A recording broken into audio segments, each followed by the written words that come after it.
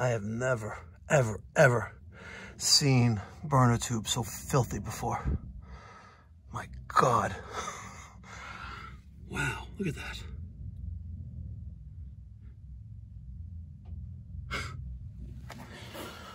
Wow. What's going on, ladies and gentlemen? Thank you so much for tuning in. It's me, Mikey Pipes. Today is Tuesday, March 18th, 2024. Correction, Tuesday, March 19th, 2024. This morning, it's uh, 7.45 in the morning. I already had my first appointment of the day. Uh, gave a uh, an existing client, uh, well, his parents moved into the neighborhood and I gave him an estimate to do a couple things in the house. I was there at 7.15. And this morning, second appointment of the day, I'm driving to my first service call, which is in New Hyde Park.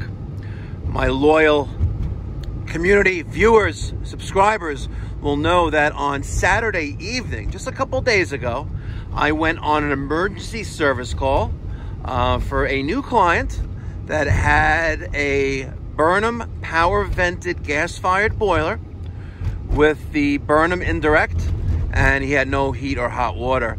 The, uh, the numbskulls that he has working in his home, doing some renovations in a couple bedrooms, well, let's just say that hacks bring me stacks. The numbskulls turned off all of the return valves on the boiler. You know, so not only for the two zones of heat, but also that one zone indirect on the return side, you know. Unfortunately, at the time, um, the circulators did not appear to be burnt out. However, I didn't have flow to the second floor. We had a lot of maintenance issues with this boiler that you're gonna see, and we're going back there this morning to do that maintenance. We're gonna pull all the burners out. We're gonna check the draft inducer motor assembly. We're gonna check all the zones. We're gonna purge. We're gonna bleed. And we're gonna go through that red light like I just did. oh my God, the YouTube police. Mikey Pipes, what are you doing, Mikey Pipes? You can't go through red lights like that. What's wrong with you? I'm gonna give you a ticket. So let's go to the service call. Smash that thumbs up button in advance. And after watching the video, let me get your thoughts, comments, criticism down in the comment section down below. Don't forget that smash that thumbs up button. Don't forget to subscribe if you haven't done so already. It really helps the channel with growth, ranking, and the engagement really helps. So now I am going to stop at this red light because there's a camera that I just passed.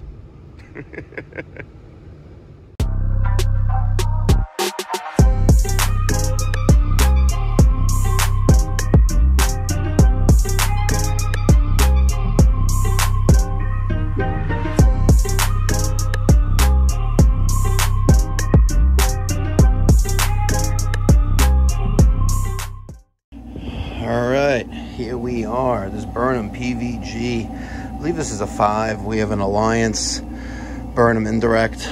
We have two heating zones off these two off these two zone valves with this one circulator. We got this one circulator that's feeding the indirect. When I got here uh, Saturday night, all of these, I kid you not, were closed. No heat or hot water. Anyway, we are going to do some maintenance here. We got a bucket. Huge shout out to Jasco in the Bronx. Thank you so much for the Bronx area. Please buy for them. Support those who support the channel. Jasco on 4225 Peters Place in the Bronx. Give them a call, 718-994-1360. We got our bucket. We have our nice larger diameter wash machine hose. We have our FLIR, which unfortunately sucks, thermal imaging camera. We have a new Tridicator gauge. That one, obviously, has seen better days. Looks like it's partially submerged in water. Looks like it came up from under the Titanic. We have our Milwaukee M18 wet dry vac. We got our Testo combustion analyzer. This is the 320. I use the 300 case. We have our knee pad and we have our Veto TPXXL. Put all our tools in there. Let's take a look under the hood. The Burnham Oh, good catch. PVG. Looks like Universe has been here. Let's see.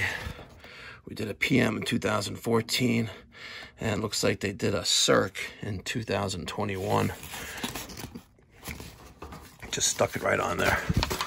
Yeah, that's that's real nice. Look at the dirt and dust inside this bad boy. And that's why we're here today. Full tune-up. We're also going to check this capacitor on the uh, draft motor. Make sure that's within range. You know, if that thing dies, this is not going to run properly. And we're not going to have any heat or hot water again. And these are expensive. Especially on a Saturday or Sunday when all the supply houses are closed and you got to open up a supply house. Not fun. PVG 5, 140,000 BTU gross, output of 120. All right, power's off. Let's turn the gas off and uh, let's start cleaning. All right, since we are going to be draining down the boiler to change the pressure reducing valve that's was sticking uh, very hard to open, doesn't manually feed the way it should, we're going to turn off the water to the boiler and we're going to start draining down.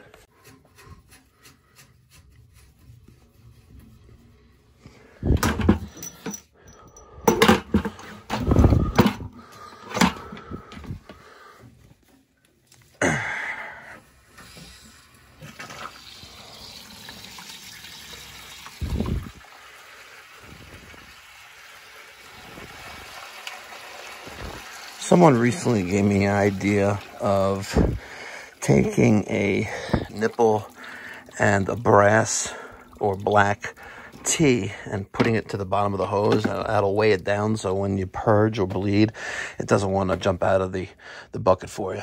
Great idea. All right, we're gonna let this bad boy drain down. Uh, let's open up this zone. Might as well bleed everything out when we're done. And let's open up that zone valve to manually hold it open. Let's open up this zone valve, manually hold it open. Make sure they stay there. Okay. And now we can drain down the entire system like gravity. Work to our advantage and drain. This uh, pressure reducing valve it's not going to be so easy to replace. I may have to pull the expansion tank first, just so we have better working environment. And then we're going to clean all these burners.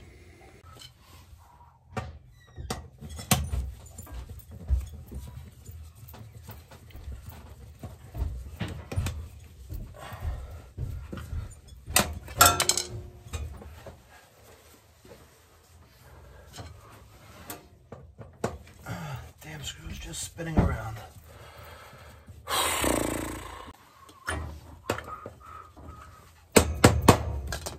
Let's put some resistance on it.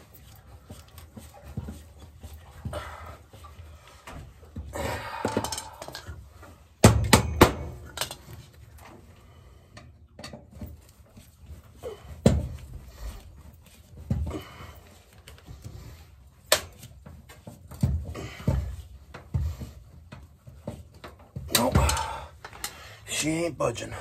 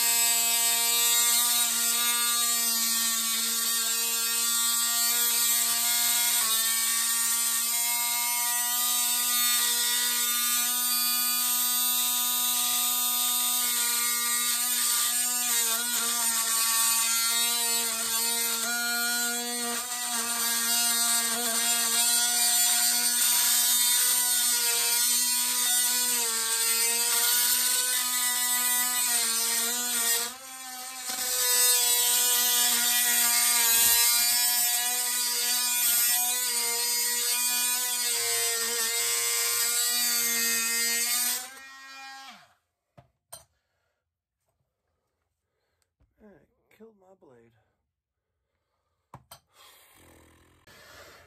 All right, took a lot of persuasion. Used the giant Phillips screwdriver I wedged it behind there, hammered it in with my Milwaukee Impact driver, and I got the screw out. There she is. One piece. We're gonna remove the two wires for the rollout switch. And we're gonna take out all of our burners. Wow. Wow. That's all I could say. I have never, ever, ever seen burner tube so filthy before. My God. Wow, look at that.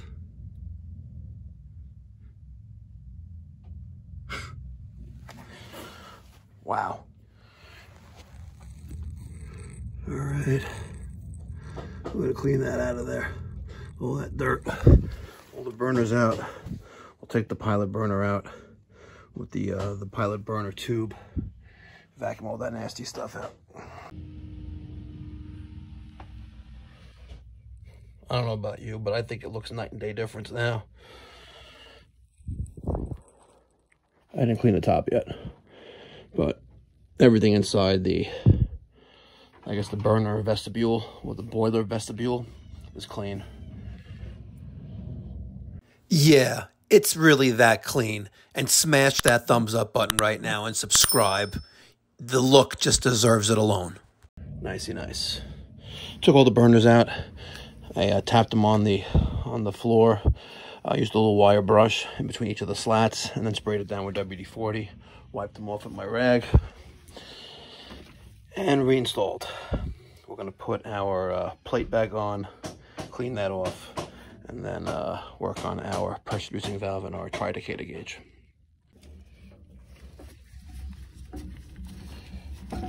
I gotta swear they don't make, I gotta swear right now, they don't make this effing easy. Jesus effing Christ, come on, really? Come on. Why? Why must you make this so complicated? Really? You really expect anyone to get that screw out with the gas valve in there, the pilot tubing, all that good stuff? Like, there's no way of getting that out easy. But nonetheless, our burner plate is back into place.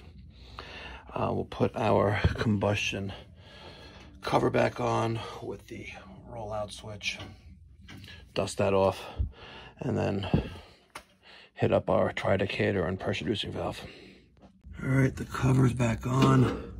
Rollout switch is reconnected with the two wiring, two wires. I did not reinstall the shipping screw. That's all that screw is. Just a shipping screw.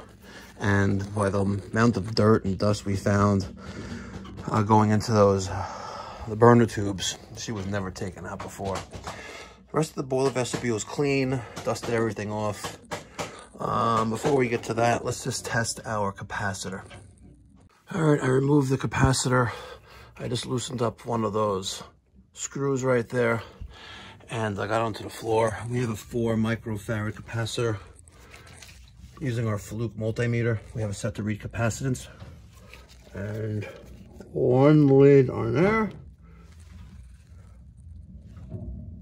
And we're reading 3.2. So she is out of specification.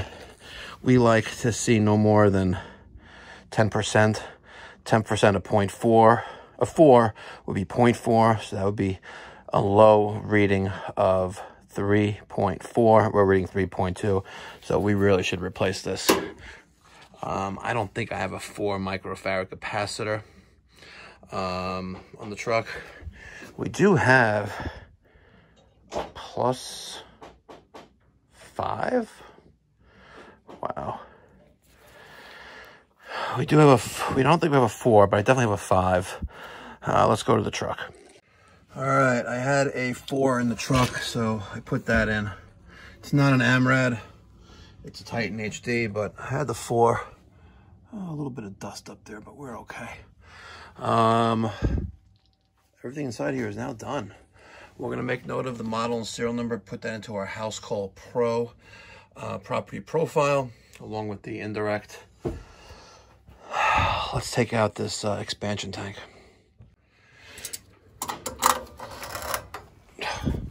the hell?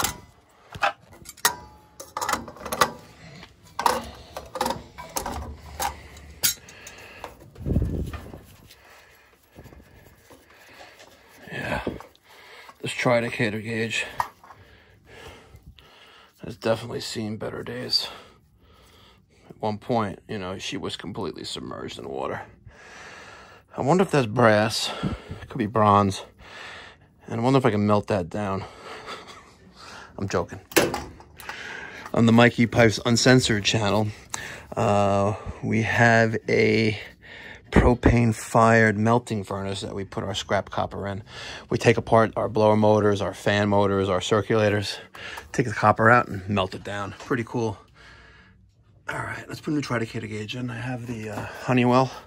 Why they changed their name to Resideo is beyond me. Honeywell is a great name, still is, but why they separated that? Oh, who put Teflon tape on that before? Hmm. Hmm. All right, regardless, it's installed. Hopefully it works. I got to uh, disconnect our backflow prevention device and take out this Watts half inch pressure reducing valve and install the uh, Caleffi that's over there. We're also going to take out this, ooh, this Caleffi automatic air vent. We'll put a new one in just because I don't think she's still working. Well, looks like the reason why she wasn't letting any water in because she's full of cocky. wow. wow, that's that's packed. that's insane. That is full of cocky. Thousand percent. Wow. Crazy. All right, uh, let's clean off our threads with the brush throw some new uh, PTFE tape on there and put the new valve on. All right, I cleaned up the threads. I got the Blue Monster tape on there. Love the Blue Monster. Really, really awesome. Too bad it's made in China. Um, we're gonna clean this up. A lot of so filthy this boiler. My God, look at this. No one cares. You have this very expensive power plant in your basement, and no one really cares. And it really pisses me off how dirty people don't take care. You're to tell me that this was just serviced in 2021. I say bullshit. There's no way this was done three years ago. It wasn't properly done at least three years ago. All right. Let me put the uh, Caleffi half inch pressure reducing valve in with gauge. All right, the new Caleffi half-inch pressure reducing valve is in. yeah, that's in the way a little bit, but I guess we'll kick it off to the side. It is what it is. I guess I could rotate this a little bit and... Uh, yeah, let me uh, put it right there, right in front of it. It looks kind of dumb that way. Let's maybe I just rotate. Oh, damn, the whole boiler's moving. uh, you know what? I like it this way. You could easily turn this. You could see the pressure gauge that way. All right, well, let's leave the relief valve that away. As long as it doesn't hit my expansion tank, we're good. Let's turn the water on. Good. Valve's closed. That will let me do it that way. Let's close this valve. And let's rehang the expansion tank. All right, the expansion tank is reinstalled. You guys knew that I was gonna move the pressure reducing valve out of the way so my drip light can go straight down. Let's turn the water on.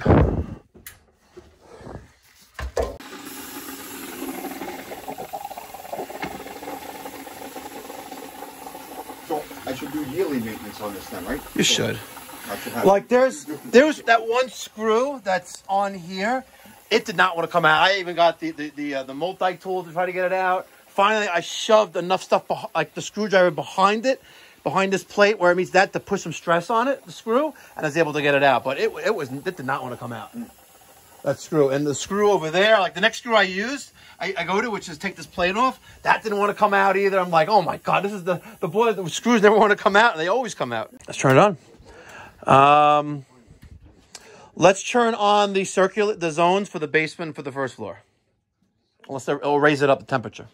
First floor is actually on already. It is on, yeah. And basement is also on. So we'll wait for that to kick on and oh, I need gas.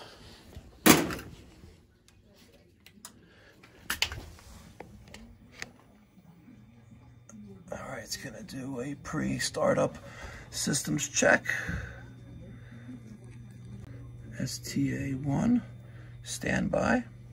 Okay, 15. Waiting for limit to close. Four, pre-purge. And that's followed by five, which is spark. And then seven. And then eight. Still on four. Still doing a pre-purge.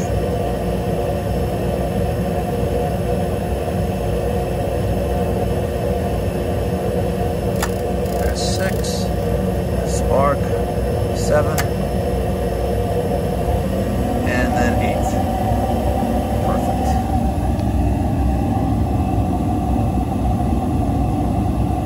Let this thing run and do a combustion test. All right, our hole in our B vent for our combustion analysis. A little bit high on the carbon monoxide. O2, eh, it's okay. CO2, 8.18%. Let's see if we make some adjustments to that. All right, made a slight adjustment to the gas valve pressure, on the outlet side. Maybe a little bit too much. Our O2 is 12% now. All right, made a couple more adjustments on our gas pressure. We're now at 29, 30. And it's going up and down a little bit there. And now it's going up more than I thought it was before. 7.1 on our O2 and 7.73 on our CO2. Gross efficiency of 83.1%. Stack temperature of 364.5 degrees. So I'm quite quite comfortable with these numbers. I would like to be as close to zero as possible with the carbon monoxide. Uh, We're at 35. Um, if I decrease the pressure too much, we're going to be below our minimum manifold pressure of 3.5 inches. So we have seven and a half coming in on our gas supply, and we are roughly 3.45 on our outlet side, and that's bare minimum where we need to be. I have other videos. I don't, I don't show everything on my uh, the videos here, but I just want to show you a full cleaning on this Burnham power vented PVG5 140,000 BTU gas fired boiler, two zones for space heating with those two zone valves. Showed you how to purge. We have the indirect. Pretty nice. Uh, real quick, I'll identify some components. We have this transformer here, which is more than likely feeding our voltage to our zone valves. We don't want to use the, the transformer off of the boiler if and when at all possible. Uh, junction box for the other low voltage controls. Uh, this switch here, um, this is utility power and this is for inverter. They have a, they, they're using this as a switch, not as a disconnect. Disconnect is up on top of the basement stairs. This is our 24 volt low water cutoff. Of course, our new tridicator gauge right there, which reads temperature and pressure. 30 psi relief valve back there, automatic air vent, Extrol number 30 expansion tank, our Caleffi half inch pressure reducing valve with optional gauge, backflow prevention device. These three, this manifold right here is our purge stations for on our return side. This is the basement. This is the first floor. This is that indirect. Independent circulator for the indirect, circulator for the two zones, venting. Inside the front hood, we have our Burnham uh, integrated hydronic control board, transformer, inducer motor, gas valve, rollout switch. Pressure switch to prove that our uh, inducer assembly, our draft motor is running. So other than that, we good. All right, I spent the last 15 minutes really trying to dial this down. Let's clipboard the results and we'll print and store the printout right there. All right, 31924, tune up the motor capacitor, tridicator gauge, combustion test, my initials on the service tag. I got a valve tag on a water heater supply,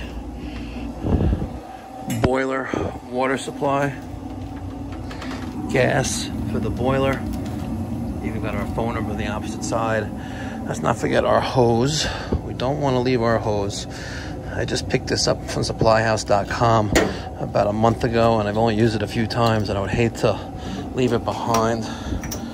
And I know I'm getting some water on the floor, but we're kind of washing the guy's floor a little bit. It needs it.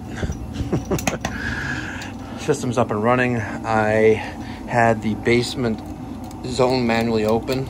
Now it's closed. Our first floor is still on. Let's check for circulation. That's blazing hot to the touch. Here's that indirect. She's cold. And that is warm, very hot. Let's check our indirect temperature before we leave. I gotta take a little screw and take that out. Okay. I already got my tool bag in the truck, so good thing I carry the Leatherman that I got from a certain company that makes combi boilers uh, that I used to love. They sent this to me when I sold, I don't know, 100 of their systems. Let's take the front cover off. Let's see what our temperature is set to. Uh, looks like we are set to 120. We have a thermostatic mixing valve? No, let's just crank this up a little bit. And uh, let's make sure that clicks. Let's make sure we have circulation here now. I just heard that circulator come on. Waiting for the air. Sorry, waiting for the circulator to circulate.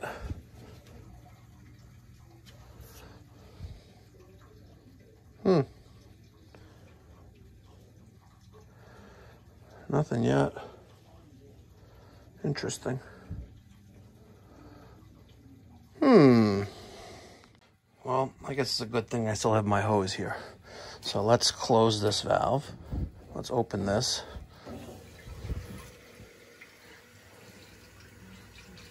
She's getting hot.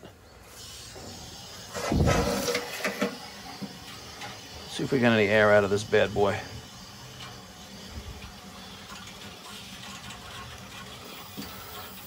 You know what's gonna happen as soon as I let this go, right? I got it wrapped around there. We are getting a lot of air out of there, as you can see. So, good thing I did that. That would suck. It's a lot of air. Wow. She's hot though. A lot of air. No automatic air valves on any of the piping. Hmm.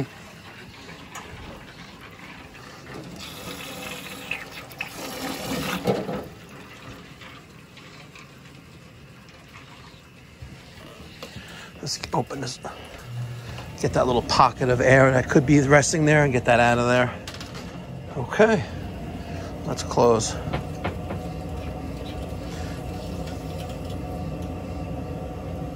Let's open that back up. And then we're gonna make sure this heats up. The boiler's cold now.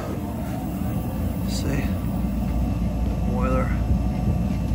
Boiler's a little cold right now. Come on, focus. There you go. So we're gonna feel this rise in temperature as the boiler makes up that water, that hot water to replace, replenish all the hot water I took out of it by purging.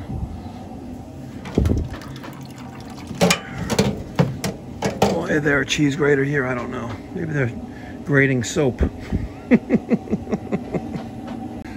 right, let's take a look at our temperatures with a picture. Here is the uh, the FLIR. This is uh, the model that connects right to your phone. Uh, I believe it works on Android as well. Uh, it's laggy a lot of times. Maybe needs a firmware, firmware update. Um, but if we take a look at our boiler right here, there's that circulator for the two zone valves. The response rate, the refresh rate is kind of weak. Here is that other circulator for the indirect. And as you can see now, we're 100 and 100 degrees. Again, we should have a piece of tape on there in order to get a good temperature feel. Otherwise, it's just reflecting off of the pipe. So if you had a piece of tape on there, that would really be great. Here's that return, which is right there. See, look at this calibrating. Okay. Our exhaust pipe, if you want to take a look at that. We still got to cover that little hole that we drilled. We'll use some silver tape. Not masking tape, but silver tape. There's our flue pipe. And I know someone's going to comment about it, but the copper pipe is not resting on the flue. There is about a half of an inch gap right there.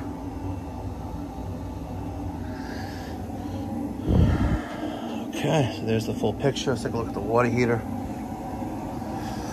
So the pipe that has the expansion tank, that's our domestic cold water inlet. The one with the pressure reducing valve, sorry, the relief valve, that's our domestic hot water outlet. And then we have our two supply and return from the boiler. And then let's not forget about our leak that we have right there.